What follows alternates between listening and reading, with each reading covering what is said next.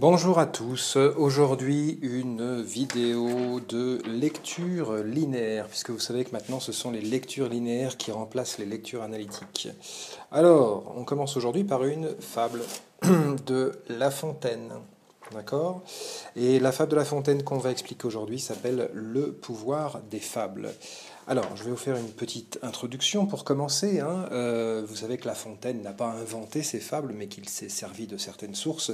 Ici, en l'occurrence, il y a deux sources. Il y a un certain Laurentius Abstemius, qui est un fabuliste italien hein, du XVe siècle, du XVe, XVIe siècle, et puis le fameux Ésope, dont La Fontaine euh, tire beaucoup de son inspiration. Ésope avec un texte qui s'intitule L'orateur d'Émade. Alors, euh, je vais vous lire une partie de la fable parce que c'est une fable qui est longue, hein, qui fait partie du livre 8 euh, et c'est la quatrième. Et c'est une fable en fait en deux parties. Euh, c'est une fable qui est adressée à l'ambassadeur de France en Angleterre. À cette époque, la France est en guerre contre toute l'Europe. Hein, c'est ce qui s'appelle les, guerres de Hollande entre 1672 et 1678. Et seule l'Angleterre, à cette époque, ne s'est pas liguée contre la France. Donc La Fontaine, ici, euh, dédie cette fable à Monsieur de Barillon, hein, qui est l'ambassadeur de France auprès du roi d'Angleterre. Et euh, durant toute la première partie, il s'adresse à lui. Et ensuite, il insère dans cette adresse une histoire euh, qui va être, à partir du vers 34, l'objet de notre explication, de notre lecture linéaire. Alors, euh, je vais peut-être vous lire toute la fable, hein, mais on va simplement expliquer la deuxième partie. À Monsieur de Barillon, donc le pouvoir des fables. La qualité d'ambassadeur peut-elle s'abaisser à des contes vulgaires? Vous puis-je offrir mes vers et leur grâce légère S'ils osent quelquefois prendre un air de grandeur, sont-ils point traités par vous de téméraires? Vous avez bien d'autres affaires à démêler que les débats du lapin et de la belette. Lisez-les, ne les lisez pas, mais empêchez qu'on ne nous mette toute l'Europe sur les bras. Que de mille endroits de la terre il nous vienne des ennemis, j'y consens, mais que l'Angleterre veuille que nos deux rois se lassent d'être amis, j'ai peine à digérer la chose. N'est-il point encore temps que Louis se repose? Quel autre Hercule enfin ne, ne se trouverait là de combattre cette hydre? Et faut-il qu'elle oppose une nouvelle tête aux efforts de son bras? Si votre esprit, plein de souplesse, par éloquence et par adresse, peut adoucir les cœurs et détourner ce coup, je vous sacrifierai cent moutons c'est beaucoup pour un habitant du Parnasse. Cependant, faites-moi la grâce de prendre en don ce peu d'encens. Prenez en gré mes vœux ardents et le récit en vers qu'ici je vous dédie. Son sujet vous convient, je n'en dirai pas plus. Sur les éloges que l'envie doit avouer qui vous sont dus, vous ne voulez pas qu'on appuie. Voilà le début donc de la partie qu'on va expliquer. Dans Athènes, autrefois, peuple vain et léger, un orateur, voyant sa patrie en danger, courut à la tribune, et d'un art tyrannique, voulant forcer les cœurs dans une république, il parla fortement sur le commun salut. On ne l'écoutait pas. L'orateur recourut à ces figures violentes qui savent exciter les âmes les plus lentes. Il fit parler les morts, tonna, dit ce qu'il put. Le vent emporta tout, personne ne s'émut. L'animal aux têtes frivoles, étant fait à ses traits, ne daignait l'écouter. Tous regardaient ailleurs. Il en vit s'arrêter à des combats d'enfants et pointe à ses paroles. Que fit le harangueur Il prit un autre tour. Cérès, commença-t-il, faisait voyage un jour avec l'anguille et l'hirondelle. Un fleuve les arrête, et l'anguille, en nageant comme l'hirondelle en volant, le traversa bientôt. L'assemblée à l'instant cria tout d'une voix Et Cérès, que fit-elle? Ce qu'elle fit. Un prompt courroux l'anima d'abord contre vous. Quoi? De contes d'enfants, son peuple s'embarrasse et du péril qui le menace, lui seul entre les Grecs, il néglige les faits. Que ne demandez-vous ce que Philippe fait? À ce reproche, l'assemblée, par l'apologue réveillé, se donne entière à l'orateur. Un trait de fable en eut l'honneur. Nous sommes tous d'Athènes en ce point, et moi-même, au moment que je fais cette moralité. Si Podane m'était compté, j'y prendrais un plaisir extrême. Le monde est vieux, dit-on, je le crois. Cependant, il le faut amuser encore comme un enfant. Hein, voilà. Alors, on va commencer euh, l'explication à partir euh, du vers 34, euh, comme je le disais, mais avant tout, on va donner un petit peu les mouvements du texte. Alors, on peut repérer qu'entre les vers 34 et jusqu'au vers 47, l'orateur essaye en vain d'alerter ses compatriotes. Échec donc de la rhétorique classique. Ensuite, du vers 48 à 55, il change de tactique, ce même orateur, pour attirer leur attention, et cette fois, il réussit. Et puis, troisième mouvement du texte, du vers 56 à la fin, la morale, hein, la morale de, l'histoire. D'accord? La problématique générale, hein, on peut l'énoncer sous cette forme, puisque c'est une fable où La Fontaine parle du pouvoir des fables. Il y a donc une mise en abîme. Hein. donc on peut formuler euh, la problématique euh, de cette façon, par exemple, comment La Fontaine, par une fable puissante, met-il en scène la puissance des fables. D'accord?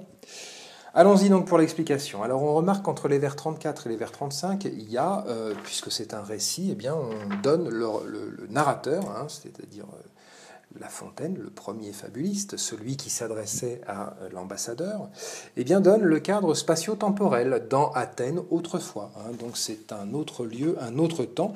Évidemment, les lecteurs ne sont pas dupes. Hein. c'est une convention, c'est une pure convention pour euh, attirer l'attention sur le fait que les choses peuvent marcher ici et maintenant. Euh, la patrie en danger, hein, ça fait référence à quelque chose que les gens cultivés connaissent, c'est-à-dire euh, l'invasion de la, de la Grèce par la Macédoine, par Philippe de Macédoine. Euh, à mettre en parallèle cette situation qui était celle de la Grèce hein, dans, la, fable à celle qui est celle de la France au moment où La Fontaine écrit la fable, où l'ensemble de l'Europe est coalisé hein, contre la France, à l'exception donc de l'Angleterre. Alors cet orateur, donc, voyant sa patrie en danger, courut à la tribune, et d'un art tyrannique voulant forcer les cœurs dans une république, l'art tyrannique en question, c'est l'art évidemment de la rhétorique. Il y a euh, ici avec l'expression forcer les cœurs, hein, une métaphore de l'efficacité argumentative. Euh, une argumentation, hein, euh, surtout lorsqu'elle s'attache à persuader, hein, donc à émouvoir, eh bien, peut être vue comme quelque chose qui force les cœurs. Il y a tout un l'orateur s'emploie, il y a tout un tas de verbes hein, qui sont euh, des verbes excessifs, courir, euh, voulant forcer les cœurs, il parla fortement, hein, les verbes sont modalisés, euh, dans le sens d'une action violente. La conclusion de tout ça est plutôt laconique. Hein, au vers 39, il y a le pronom impersonnel, on, qui est utilisé. On ne l'écoutait pas. Il n'y a même pas de coordination entre euh, tous ces efforts et la conclusion, le résultat, s'il y a juste une juxtaposition, à ce qu'on appelle une ascendette, euh, pour euh, former un contraste tout simplement.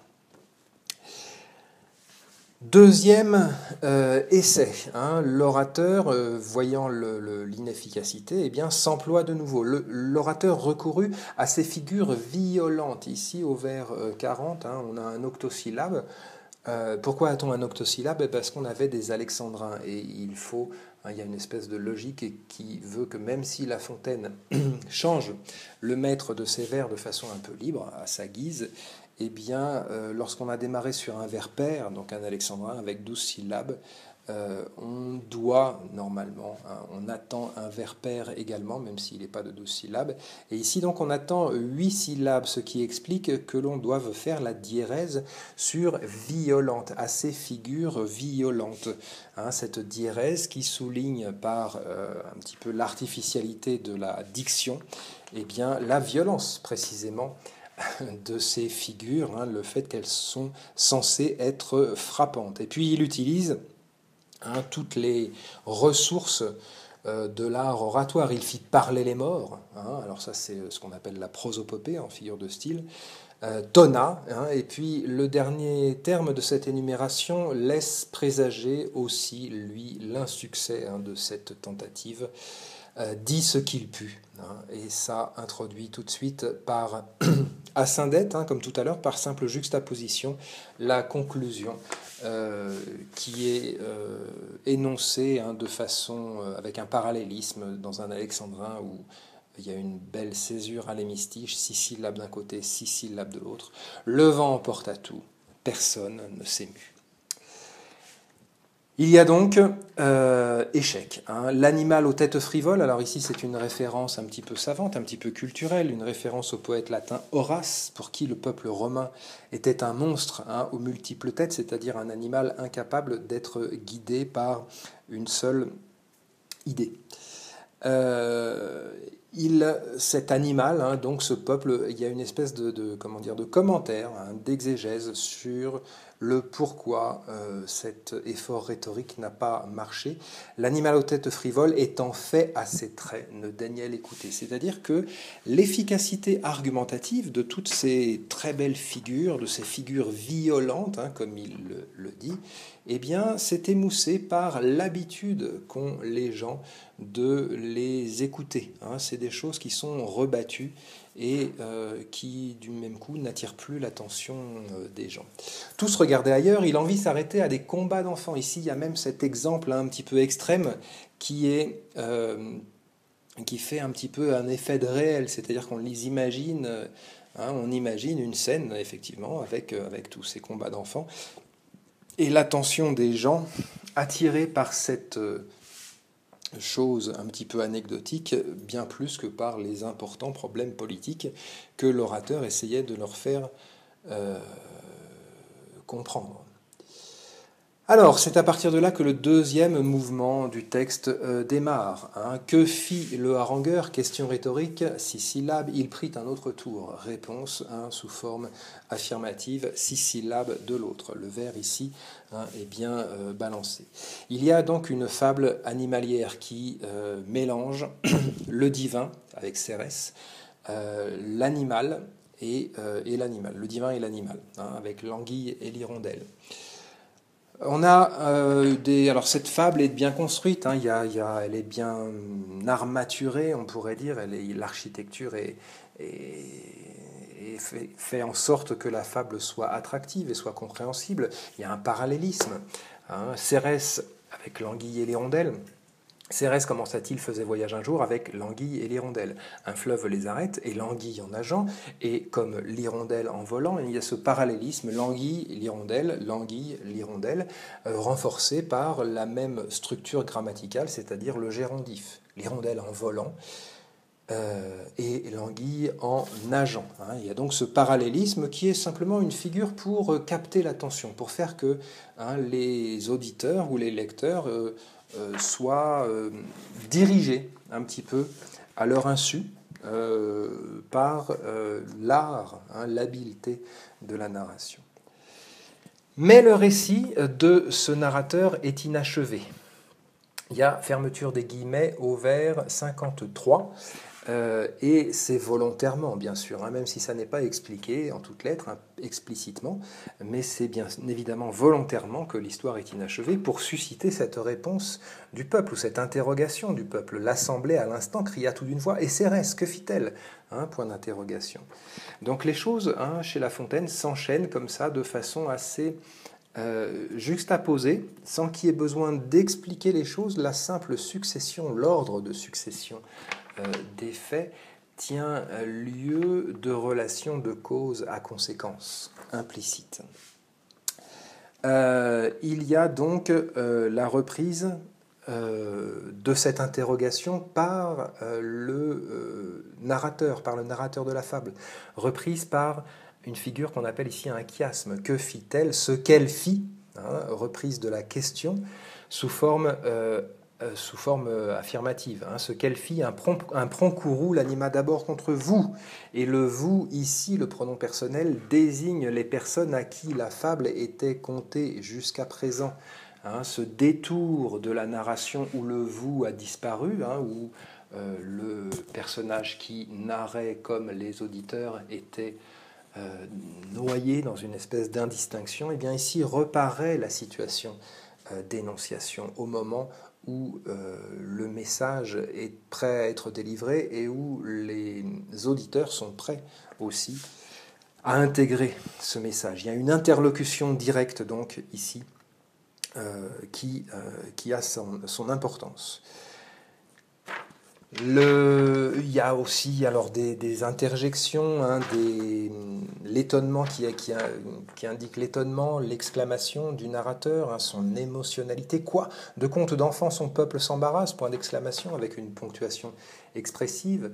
Et euh, le point argumentatif en lui-même, l'argument principal arrive au vers 60 euh, sous forme de question, aussi question rhétorique. Et ici, c'est une figure de style qui incite la personne à qui on pose cette question à trouver lui-même la réponse. Et ici, euh, c'est le peuple en entier. Que ne demandez-vous, hein, avec ce vous qui est encore là, ce que Philippe fait? Alors Philippe, c'est le roi euh, de Macédoine hein, de cette époque. À ce reproche, conclusion, morale, l'Assemblée, hein, sous forme d'octosyllabe ici, à ce reproche, l'Assemblée, par l'apologue réveillé, se donne entière à l'orateur, un trait de fable en l'honneur. Il y a donc hein, ici cette, morale qui célèbre le pouvoir des fables. Et ensuite une généralisation euh, à partir de l'exemple athénien hein, de, cette, histoire qui, a été racontée à l'humanité entière avec ce pronom personnel nous. Nous sommes tous d'Athènes en ce point. D'accord? Généralisation. Et en même temps, La Fontaine pardon, évoque son cas euh, particulier.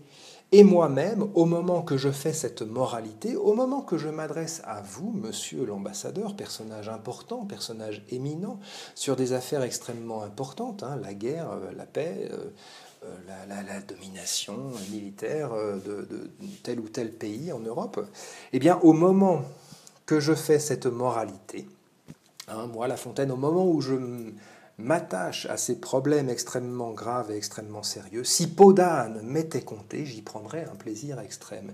C'est-à-dire que si une, euh, si une fable, si une historiette sans prétention et sans gravité m'était racontée, eh bien je serais pareil, je serais victime hein, de cet attrait, je serais happé par euh, un espèce d'intérêt euh, assez un intérêt pardon, assez euh, euh, tyrannique hein, qui m'emmènerait à euh, me divertir des problèmes importants pour m'intéresser à ça. Morale générale, ensuite, le monde est vieux, dit-on, je le crois, cependant, il le faut amuser encore comme un enfant. Il y a cette formulation un petit peu bizarre au vers 70, il le faut amuser encore comme un enfant, il faut amuser le monde. C'est-à-dire qu'il y a comme un devoir hein, de la part de l'humanité peut-être de certains euh, personnages, comme un poète par exemple, d'enchanter le monde, d'amuser hein, le monde, et ça répond euh, sans doute au sens euh, étymologique du mot poésie, hein, le sens grec de poiesis, qui est faire, qui est créer, qui est stimuler, hein, qui indique une activité et non pas une passivité. ici, c'est à l'homme d'enchanter le monde, de l'animer, de l'amuser encore comme un enfant. Conclusion. Dans cette fable réflexive, hein, c'est un art poétique que La Fontaine nous propose.